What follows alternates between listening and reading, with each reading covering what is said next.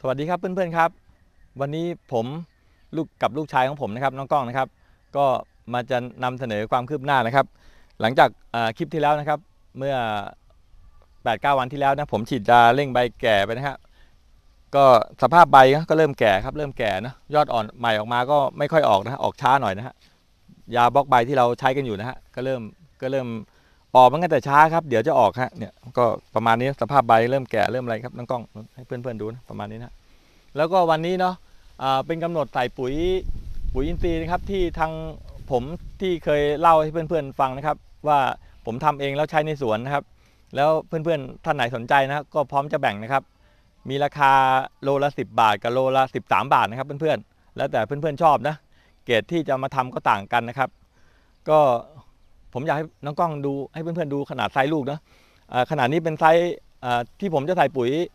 ครั้งครั้งที่สองนะปุ๋ยหมักนะเนี่ยปุ๋ยหมักตัวนี้น้องกล้องน้องกล้องให้เพื่อนๆดูนะปุ๋ยหมักเพื่อนครับปุ๋ยหมักผมจะมีกระสอบละยี่ห้าโลกับยี่สิบโลนะแล้วแต่เพื่อนๆชอบนะฮะชอบไซส์ไหนนะครับเกรดจะเป็นอย่างนี้นะครับปุ๋ยหมักแบบนี้นะฮะเนี่ยเนี่ยน้องกล้องดูเนื้อหน่อยเนี่ยเกรดเนื้ออย่างนี้นะฮะ ผมจะมีส่วนผสมทางทางเราใช้อยู่นะทางกลุ่มวิสาหกิจชุมชนเราทำใช้อยู่นะครับก็ให้เพื่อนๆดูนะผมจะตีป่นเนาะตีป่นแบบนี้นะฮะแล้วก็จะใส่ใส่ทุเรียน คือไซส์ที่ใส่ก็จะเป็นเนี่ยดูเนื้อดูเนื้อนะดูเนื้อเนื้อเป็นอย่างนี้นะน้องกล้องให้เพื่อนๆดูไซส์นี้เนาะอ่าไซส์เนี้ยเพื่อนๆนี้ผมใส่ครั้งที่สองนะครับอ่าเพื่อนๆจะเห็นว่าว่าหนามเขียวครับ แล้วลูกเขียวดีครับ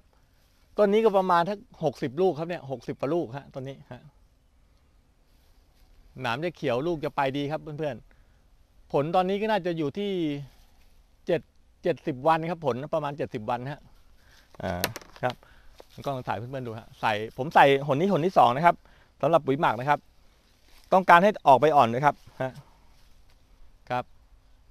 เพราะว่าลูกใหญ่แล้วเนะอ่าน้ากล้องเดี๋ยวพ่อใส่ดูนะ ใส่แบบนี้นะครับเพื่อนๆใส่ต้นสักสามกิโลครับเพื่อนๆครับ ต้นละสามกิโลเนาะฮะ ใส่รอบๆทรงพุ่มนะฮะรอบๆทรงพุ่มเนี่ยครับแค่นี้ครับพอแล้วครับเนี่ยประมาณนี้ฮะครับ แล้วก็เดี๋ยวมาดูผลกันนะครับ อย่างที่ผมบอกเพื่อนๆไว้นะว่า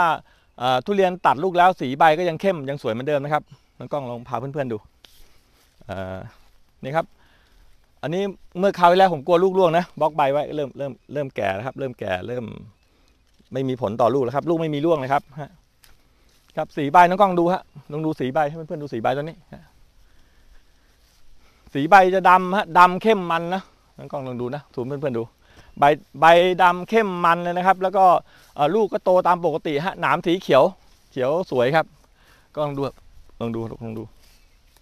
อ่าลองให้เพื่อนๆดูฮะอ่าเพื่อนๆดูอ่าต้นเราก็ไม่เป็นโรคนะครับเพื่อนๆถ้าเพื่อนๆท่านไหนสนใจนะครับ ก็สามารถที่จะ แบ่งจากเราได้นะครับ มีราคาโลละ 10 บาทกับ 10 13 บาทนะครับ มี 2 เกรดนะครับเพื่อนๆ ใช้แล้วใบทุเรียนเพื่อนๆจะไม่โทรมครับ โรคเน่าต้นเน่าจะไม่ค่อยมีนะครับ เรียกว่าไม่มีเลยดีกว่าครับเนาะ ใบจะสวยครับ น้องกล้องลองถ่ายเพื่อนๆดู ใบจะสวยครับเนี่ย ใบจะสวย แล้วส่วนยาบล็อกใบที่ผมทำนะครับ ที่ที่ทางเราใช้อยู่นะครับ น้องกล้องดูนะ เนี่ย ใบมันก็จะแก่ มันก็ไม่มีปัญหาอะไรครับเนี่ย มันก็จะแก่ทั้งหมดแล้วฮะเนี่ยมันจะแก่มาแล้วเนี่ย น้องกล้องดู ผมฉีด ไปสองรอบเนาะยาเร่งใบแก่แล้วนะครับ ก็แนวทางของสวนเราก็มีประมาณนี้นะครับเพื่อนๆ ผมเองก็มานำเสนอความคืบหน้านะครับ แล้วก็เอ่ออยากจะแนะนำเพื่อนๆนะครับ ว่าลองใช้ปุ๋ยหมักของเราดูนะฮะซึ่งคุณภาพไม่แพ้ไม่แพ้ปุ๋ยหมักที่อื่นนะครับ อยากให้เพื่อนๆมีผลิตภัณฑ์เราไปลองใช้ดูนะครับ เพราะว่าผมเองก็อยากให้เพื่อนๆลดต้นทุน แล้วก็คำว่าลดต้นทุน ของเราสองคนพ่อลูกไม่ได้หมายความว่าเพื่อนๆ จ่ายสตางค์ถูกลงต้นไม้โทรมนะครับไม่ใช่นะฮะต้นไม้ก็ยังคงงามอยู่แล้วก็ถูกตังค์ด้วยนะครับ เราไม่รู้ว่าต่อไปสถานการณ์ต่อไปไม่รู้ว่าราคาทุเรียนจะดีอย่างนี้หรือเปล่านะฮะก็อยากให้เพื่อนๆช่วยกันประหยัด แล้วก็สามารถมีต้นทุเรียนที่สุขภาพแข็งแรงอยู่นะครับ